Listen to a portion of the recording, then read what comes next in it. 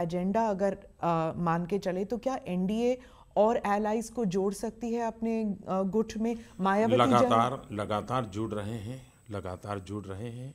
हम लोग 2014 में थे उससे बहुत बड़ी मात्रा में सारे छोटे मोटे दल हमारे साथ जुड़े हैं नॉर्थ ईस्ट में। तो हम कहीं थे ही नहीं 2014 के पहले बहुत बड़ी मात्रा में हमारे साथ जुड़ क्या मायावती जी जुड़ सकती हैं आपके तो साथ? कौन जुड़ सकता है कौन नहीं जुड़ सकता है और मैं नहीं मानता हूँ कोई समझदार व्यक्ति टीवी के सामने ऐसी चीज़ों का उल्लेख करेगा।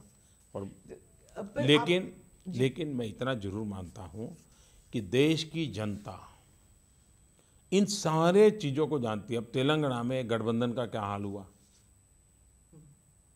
बुरा हाल हुआ लेकिन उसकी कोई चर्चा ही नहीं करता। है वो गठबंधन का पहला प्रयोग था पूरी तरह विफल गया।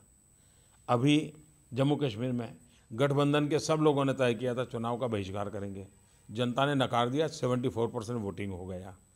अभी आसाम के अंदर ये सारा गठबंधन एक बाजू था। भारतीय जनता पार्टी एक बाजू थी पंचायतों के चुनाव में। गठबंधन का हाल बुरा हो गया, भारतीय जनता पार्टी जीत गई।